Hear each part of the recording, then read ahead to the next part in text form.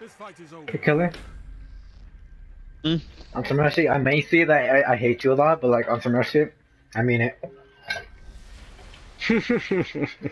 I know. I'm just aluminum knew- knew where I was going with that. I thought, but yeah.